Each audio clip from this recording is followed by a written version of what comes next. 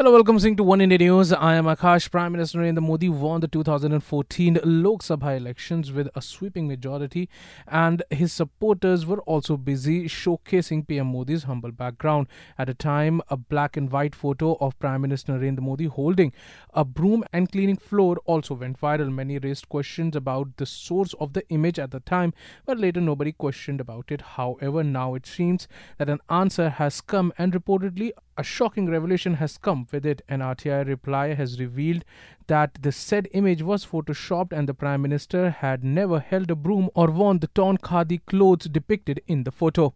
Well, that's all for now. And for more news and updates, log on to our YouTube channel www.youtube.com slash Oneindia News.